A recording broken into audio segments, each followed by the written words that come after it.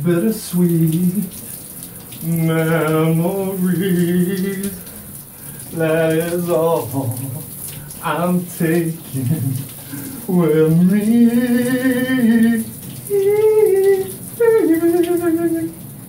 Oh, hey guys.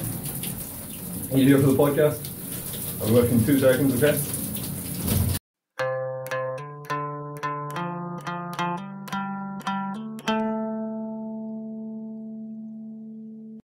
What's going on, guys? Welcome back to the Life of Lee podcast. This is episode two, and as always, I am your host, Lee Anthony. Before we get into this episode, let's have a word from our sponsors. Yep, we don't have any, so let's just get on. Um, before I start this episode, if there's one piece, of advice that I'd love to give everybody out there, and it's really simple and it's really basic, but it can really help to manage your life better, start making a to do list. Now, what I do is I write my to do list the night before and I fill it up with stuff that I need to get done and stuff that I know I'm going to do, and then stuff that probably won't happen. Like the first thing on my list is wake up. You know, so as soon as I wake up, roll over, tick that box. I'm already doing shit on my to do list. And in the last couple of days, with trying to do the podcast and trying to do other things and just keeping everything manageable, just write out a list with a little box next to it and as you go through your day, check it off. And by the end of the day, when you look and you see all the ticks, and you know, it makes you feel a lot better. And like I do really simple stuff, like wake up, have breakfast. You know, that's stuff that I know I'm going to do within 20 minutes waking up. I've already ticked off two boxes. Um, also put in stuff like pick up motorbike. Like I ride motorbikes. I don't have one right now though. There's no chance I was getting a motorbike today, but I wrote it down anyway. And instead of putting a tick in it, I put a little arrow, meaning that I'll write it out again tomorrow. And then eventually one day I'll be able to tick that box off, you know? Um, it's just a little thing that I've started doing in the last year or so. Um, can't even remember who I picked it up from. But yeah, it has really helped me and it might help you too. So, first episode was basically just an introduction. Um, this episode, I'm going to try and go into a bit more of where I came from, um, just the history of me, what brought me to this seat right now, this moment. Um, first episode, I had fun doing it and editing it. I was going to wait until that episode had went live and then see what kind of like reaction I got and that kind of stuff until I'd done the second episode. but then I started thinking like, I don't know how this is going to go. Like I might get torn apart from this. People might just not be interested. People might not give a fuck. There might be haters out there. You know what I mean? So rather than put the first one out and maybe be like I don't know discouraged by the response, I thought you know what, the first one's done. That will get put up, and I'm just going to crack straight on with the second one um, not give my time, not give myself time to think about it or to for doubts to build up or any of that kind of stuff. I'm just going to keep this train rolling and just keep putting it out. And if anyone does hate on it, like that's on you, really. Um, honestly feel anyone that hates anything that anyone's doing, then you're really just hating yourself. And for something like this, where I'm literally just talking about my life, I'm not, you know, trying to create any um, arguments or different points of view or any of that kind of stuff. This is just simply me talking about my life. So I don't know why anyone would hate that. But if you do hate it, you know what I mean. Haters going to hate. That's that's that's on you. Um, but if you enjoy it, like, subscribe, and there'll be more coming. So yeah, um, the last, the first episode was 38 minutes long. I'm going to try and keep them to around 30 minutes, um, mainly because I'm recording on my phone and my phone keeps cutting out after half an hour.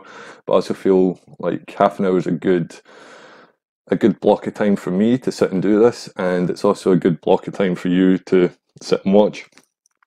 I mean, like I've watched Rogan podcasts that have lasted like four hours, and you're just sitting like, and I don't want to do that to you. You know, I want you to just nip in little half hour episode and then get on with your day. Uh, I don't want to take up too much of your time. So this episode, I'm just going to talk about where I come from, how I got here, um, and yeah, I'll probably I'll probably talk about things that I'll go into deeper detail on later. but this is just going to be an overview of how this big hippie looking motherfucker got in front of you. So I was born in London on March 25th, 1987. 32 years ago. Like we live in 2020. Like, is that not just cool as fuck? Um, yeah, I was born in London, lived down there till I was three years old, and then my parents decided that they would move us up to Scotland. My mum's from Scotland. Um, yeah, my parents decided they would move me and my older brother Scotty. We would all move up to Scotland because they thought that the school systems were better and the education system was better in Scotland, which is hilarious. Um, when I get to talking about my school life, like I did not enjoy high school whatsoever. Um, and I'll discuss that deeper. But for them to base their decision on moving on me and Scotty getting a better education up here, it's just really ironic how things turned out. And it's something that I think about a lot. Like, if I hadn't moved from London, my life would have been completely different. Um, like 90% of the people that I know now, I wouldn't know. 90% of the experiences I've had wouldn't have happened, or if they did happen, if I still became an actor, it would have been different. If I'd still became a freerunner, it would have been different. And there was another point in my life we were meant to move to Kirkcaldy, which is on the east coast of Scotland, when I was um, 12, I believe. I had one year left of primary school, and we were meant to be moving, and it ended up not happening. So that was another point in my life where if we'd moved then, I would have went to a different high school. I would have had different friends, different girlfriends, different relationships, different experiences. My whole life could have been different.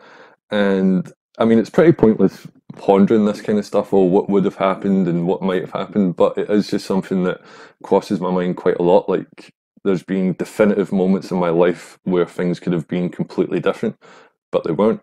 And this is how my life ended up. So moved up here, and um, we lived in a place called the town's called Wishaw. Um, originally, we lived in a street called Pentland Road in Wishaw Hill, which is a rough place.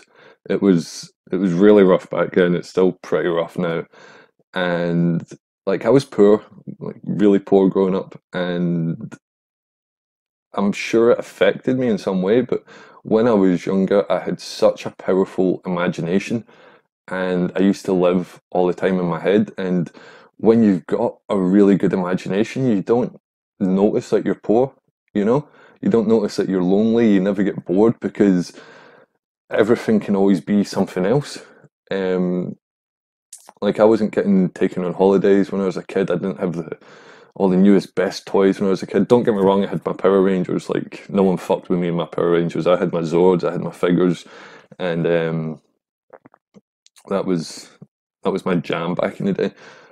But I I kind of knew I was different from not different from kids, but I knew I was in a different social standing from a lot of kids. Um, you can tell just by the way they're dressed, you know, and what they do on their summer holidays. If they're coming in and like, oh yeah, had a great three week vacation in Florida, it's like, what did you get up to? And I'm like, eh, my mum and dad took me to the car boot sale on Sunday, you know, and yeah, I did. I did notice that I definitely wasn't in the in the higher class. You know what I mean?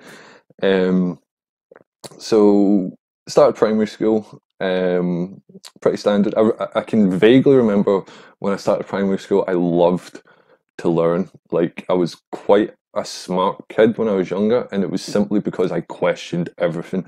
I wanted to know how everything worked, and then I wanted to know how that worked in relation to everything else. I wanted to know what things were made of. You know, like I, I literally wanted to know everything about the world that was in front of me.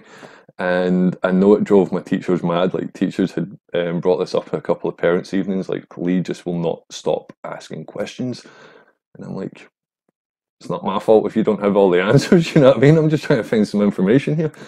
And so yeah, primary school was pretty standard. Um, throughout most of this time, I really, I've never been the most social person. Um, not, not that I'm antisocial. It was like back in the day. Um, there was a kid lived in my street, and me and him ended up becoming friends. And his older brother was friends with my older brother, and I just kind I, I remember kind of thinking back then, okay, cool, I've got a friend, that's that sorted. I don't need to try and get any more other friends. I've, I've already got one, and we do stuff together, and we have a great time. So as far as friendship goes, cool, it's sorted. And I, I've always kind of been that way ever since. Like I know some people, and the the social aspect of their life is what drives them. You know, they want to be around as many people as possible. They want to talk to as many people as possible, constantly messaging people, and I just don't. Not that I don't have the time or I don't care, but it's the way I see it. The more people that you let into your life, the more of their life you inevitably take on, and vice versa. And it's kind of selfish, but I really just want to focus on my life while I'm here. Like, I've got maybe 80 years here, probably more like 60, considering the drugs I took when I was younger, the fact I still smoke and all that kind of stuff. I'm 32 now. Like, I've maybe already passed the halfway mark, you know? Time's running out. So, if, if I had the choice of hanging out with a bunch of people and just sitting, talking bullshit, really, not doing anything, or going out training by myself, or sitting myself writing a film, or editing something, or even just reading a book, I would much rather do that because that's exactly what I want to do in that moment, and it's not constrained or influenced by what anyone else is doing. And I know, like, this is another reason for this podcast. I really don't care what anyone thinks about me as long as what they think about me is real, if you know what I mean. Like, if someone's opinion of me is based on rumor or what someone else has said and you know it's kind of twisted and that kind of stuff, that annoys me a little bit. But if someone knows exactly who I am, why I do what I do, and they still don't like me, then that's fine. But if someone doesn't like me or they have preconceived judgments against me based on what someone else has said, then that kind of bugs me a little bit. And it's just the way I look at life. I don't I don't criticize anybody I don't know. I don't talk about anything that I don't know about. Like I hate football. I fucking hate it. Like it's an alright sport and I appreciate the physicality, but the the meaning that people put on this game, like my whole life I've I've had conversations with guys and they've been like, What team do you support? I'm like, I, I don't really I don't. Like, what? You need to support a football team you need to support a football team. It's like I don't I, I really do not need to spend my time dedicated to what eleven people are doing on a football pitch. You know what I mean? And there's people out there their entire lives are based around whether a football team wins or loses. You know, if their team wins on Friday, they'll be happy, they'll be ecstatic, they'll be over the moon, they'll be the life and soul of the party. But if their team loses, oh, they'll be depressed. Like people will actually cry, you know, like people will go home and beat the shit out their misses just because their team went 2 0 down. It is fucking madness. But I used to play football. I played for two teams. Like I, I've got experience of it. I've played the game and I've had enough experience to know, you know, it's just not for me. And then when I meet people nowadays who like I'll be talking about parkour and they'll go, Oh, that's stupid. It's like, have you ever tried it? have you ever felt the sensation that you feel when you've just overcame a jump that you thought was impossible or you've just learned a, a brand new trick that you know or sorry you've just landed a brand new trick that you've been trying for ages. Like you cannot say that's stupid. The experiences that parkour have given me that parkour has given me and the places i've traveled to the people i've met none of that is stupid you know? And if if i had to compare the two between me reaching absolute peak of my physicality and mentality and being able to perform movements that I thought was impossible. Like I grew up watching Power Rangers. They were all doing the flips and that kind of stuff. I loved it. But that instilled in my mind like, oh, so in order to do flips and stuff, you need to be a superhero. You know, and that's the way I always thought about it growing up. It's only superheroes and ninjas that can do that kind of stuff. So when I actually started training it, and then I actually got good at it, and I could actually do the stuff that I used to see Power Rangers and Jackie Chan and that kind of stuff doing. It amazed me, and it still amazes me every day. Like a lot of the time, if I'm out training myself, or even with the team, you'll just land a move and you'll get someone walking by and they'll go, "Oh yeah, you're just showing off." It's like, yeah, one hundred percent. I am showing off. I am showing off what the human body is capable of, and not just that. I'm showing off what I'm capable of And I'm not showing off to you or to you or to anybody else. I don't give a fuck if you see it or not. I am showing off to myself every single day because it used to be my dream to be able to do this stuff and now I can. So yeah, I'm showing off. I'm living life. You know what I mean?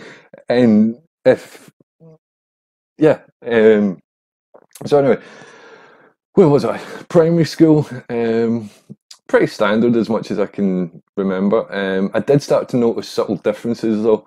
Um, for instance, I loved reading as a kid. I would read everything. And I remember in primary seven, so I would have been like 12 years old, we were sitting at reading time.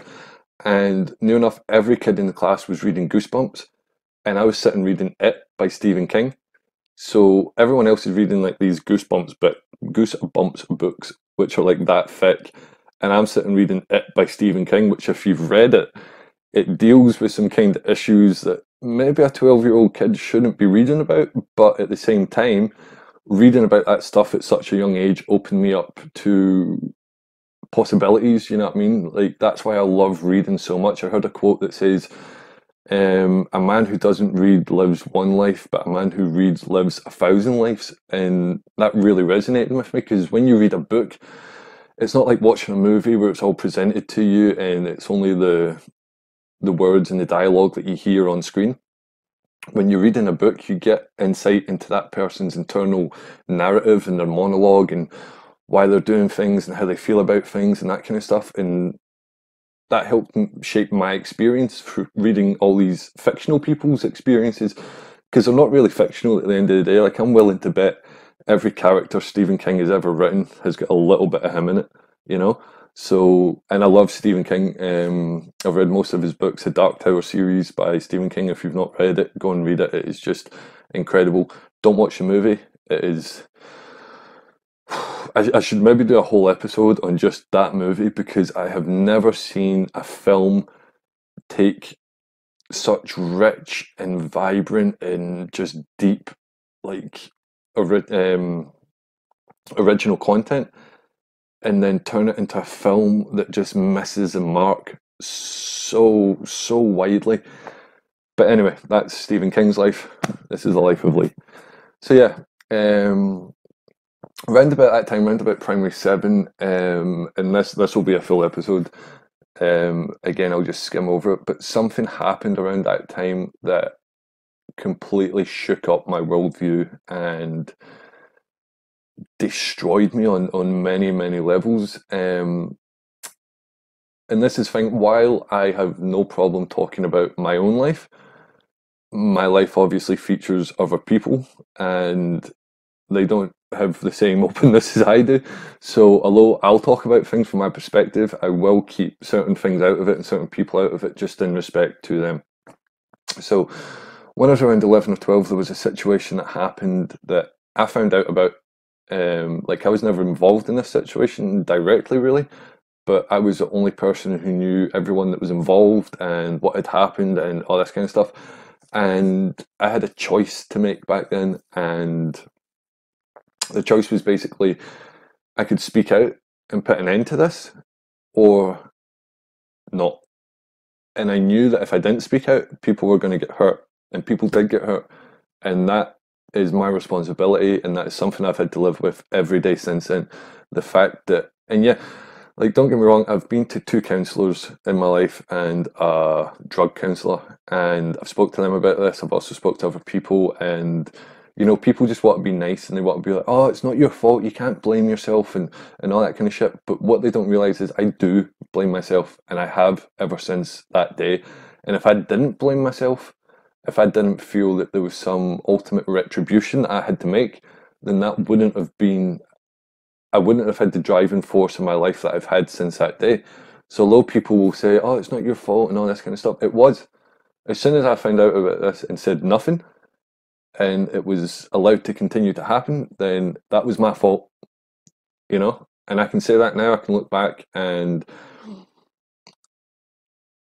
it cost me so much to make that decision. Like it cost me like from the ages of maybe 11 to around about 16 17 i was sleeping maybe an hour a night and you know like they're formative years they are very important years you know you're going through puberty you're going through a lot of stuff you need your sleep but with thinking about everything that was going on and how it related to me and every possible outcome of every possible situation, you know, it just it kept me awake at night.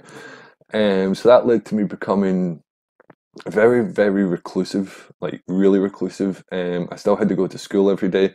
I'd started high school by this point, but I wasn't engaging with anyone around me. You know, like at lunchtime, there'd be a thousand kids in the playground, and I still felt just sheer isolation um, because I didn't think I could talk about anything at all. You know, I didn't think I could talk about the big things, and that was stopping me from talking about the smaller things. And it was stopping me from just having normal interactions with people. But at the same time, with me being as um, withdrawn and as lonely, I suppose, while everyone else was out, you know, hanging out and having a good time and that kind of stuff, I was I was in my room reading. I was I was in my room coming up with ideas and just it allowed me to really spend a lot of time being self analytical, which I really help I really think has helped me later on in life to be the person that I am now, you know, an actor, a free runner and all the stuff that I do and this is the thing, like, uh, and this is what I said in the first um, podcast. If you remove the words good or bad from experience and just see it as experience, and that's what I had to do because a lot of been all this was bad um, in a lot of respects, but if none of this stuff had happened, I really doubt I would have ended up being who I am now. So, although that was bad stuff, goodness came out of it. So, like I said before, you cannot see any experience as being good or bad. It is all just experience. Yeah, so first and second year in high school, uh, my attendance was like, I think first year was 97%, second year was like 99%, and then third year my attendance was 38%, and then fourth year my attendance was 12%, 13%. And like I remember, like the first time I dogged school. Uh, for anyone who's not in Scotland, that's playing truant from school. We call it dogging up here, but dogging has a completely different term in most other parts of the country. So the first time I ever played truant, it was um, a friend of mine had ripped off a dealer like nine um, ounces of hash, and the dealer's like nephew or some shit was at our school, and he got word that this guy was going to be waiting on him in school with a hammer to like fucking kill him, basically. So me, him, and I can't remember who else we decided to like play truant or dog it for the day. And I remember having this day off, and obviously you couldn't be around like the local town or that kind of stuff, you know, in case anyone saw you. So uh, we had to like hide out down the woods, and you know, and I remember feeling this excitement all day long. You know, like everyone else is in school, they're they're all doing this boring like geography or PE or whatever, and I'm, you know, I'm I'm just running around doing whatever I want, and you know, it, it felt really sneaky, and it, you know, it was like an adrenaline kind of buzz, and it also meant that I didn't have to go in and try and play up to everyone, you know, like talk to people and act like a normal person, which was really, really hard for me to act normal and to be like, oh no, nothing's going on, everything's fine. I'm, I'm just a happy-go-lucky kid because I wasn't, you know what I mean? And it was, it was really hard to pretend that I was anything other than that. So that was the first time like I ever dogged it, and then from then on, it was just like I don't need to go to school anymore. It, it's that simple. Like um, my parents they were leaving for work in the morning before we were leaving for school, and then we were meant to be back from school before like they got in from work.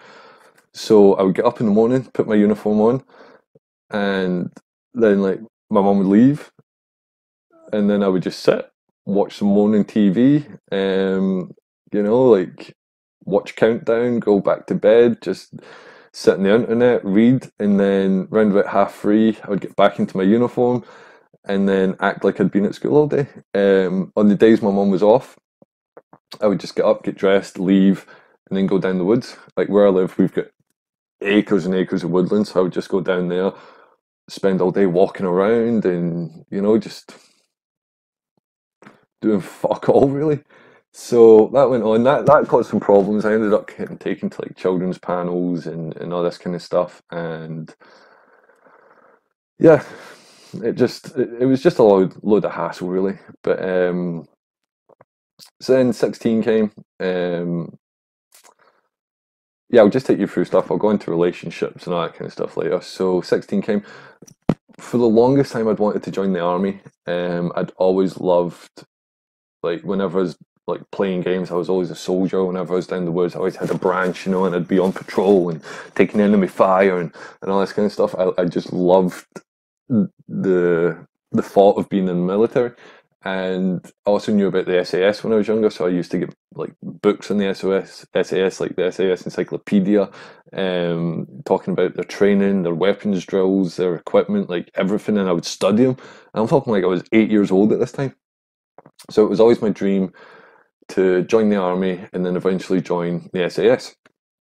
So I joined cadets, the army cadets, when I was 14, I think. Um, I was there for a few years. I got promoted to Lance Corporal, and it was a great time. You know, it was just. I mean, like I remember the first day I went was a Thursday, and then they had a camp that weekend. So I went on the Thursday, and they gave me like a mismatched uniform, and then I went to this camp, and the first day they took us to the range. So I'm like 13 years old with an SA-80 firing live rounds down range, and it, it was incredible. You know, it's a fucking machine gun. Um, so yeah, I, I love cadets, and I I tried to do the best. Like I saw cadets as me being in the military. Like we're wearing the same outfits as the army. We're we're shooting the same guns as the army. We're staying in the same camps as the army. I'm in the army. Um, so yeah, when I left school at sixteen, and that's kind of why I didn't really bother sitting my exams or any of that kind of shit because I knew I was going to the army, and also uh, the third year prelims prelim exams. Like I hadn't been in school for months before my prelims, and a couple of guys that I knew were like, "Oh, you're going to come in and do your exams. We're all going to get a drink after it and blah blah blah." So I thought, you know what, fuck it, I'll go in. I'll sit in an exam hall for a couple of hours, and then we'll all go get a drink, smoke some dope or whatever the fuck. So I went in and sat my third year prelims, and I was like, I passed most of them. Like, I think I passed all of them, and that was with me not being in school for months before this. Hello, Ragnar. Are you podcast? So, um, and I remember thinking like I'd had like discussions with teachers when I was back at school, and they would say, "Oh, if you don't go to, if you don't come to school, you're going to ruin your life, and you know you're throwing away your potential and all this kind of stuff." And then I went and I sat the exams and I passed them, and it's like, well, do I really need to be here? You know, if this is exams, if this is what you are saying, I need to be in school to pass, and I've just passed them without being in school, I don't need to be here. And that's like, I think this is really when I developed this attitude of, I hate being told what to do, not what to do. You know, if like I'm working a job and someone says, "Oh, Lee, can you go and sweep that?" Then I'll go and do it. It's my job. But I hate being told what I need to do, you know? Oh, if you're a human being, you must do this. And it's like, no. I am, a, a, a, like, right now, we are the pinnacle of the human race. We really are. Like, a lot of people woke up today and they were like, oh, it's Monday. I'll do the same stuff that I've done every other Monday. And, you know, like they're in a routine. But no, like, today is, is like, is a brand new day. It's never happened before. It will never happen again. Hey, Ragnar. So um, do whatever you want. Don't like don't follow the path that someone else has laid down. Or oh, if you want to do this, you must do this. If you want to do this, you must do this. No, if you want to do something, then find your own path to it. Like I know, I know so many actors that will not get visible tattoos, you know, because it might screw them up for a job. I already had loads of visible tattoos when I started acting, and then three years into acting, I went and got like a big neck tattoo. And not only not only has it been fine, my tattoos, like I had all these tattoos when I was on Game of Thrones. You know what they done? They covered them because there's makeup people that do that. And there's also a couple of roles that I've got where I was cast simply because I had tattoos. So if if you're in drama school or drama class or whatever, and your teacher says, "Oh yes, do not get tattoos; it will ruin your chances of being an actor," it might not you know, do whatever you want to do. Like, just keep your goal in mind and take your own path towards it. Don't follow anyone else. So, you know, that's 29 minutes now. Um, so I'll wrap it up there. So this will be the school years, we'll call it. Um, and I could go into way more detail about school and different things, and I will, I probably will, but this will just serve as a, another little introduction video into more of the life of Lee. Um, and I'm only doing half hour episodes. I should really be trying to do like two a day or something. But yeah, um, I'll put this one up. Um, now on Instagram as well, uh, life underscore of underscore Lee with three E's.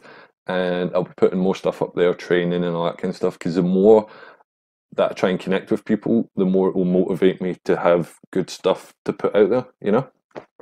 So, anyway, this will be episode two. Thanks again for stopping by. Um, I hope episode one's done well, or this could be a really short experiment, um, but I'm pretty sure I'll keep going with them anyway. And yeah, I'll catch you next time. Thanks for stopping by. Peace.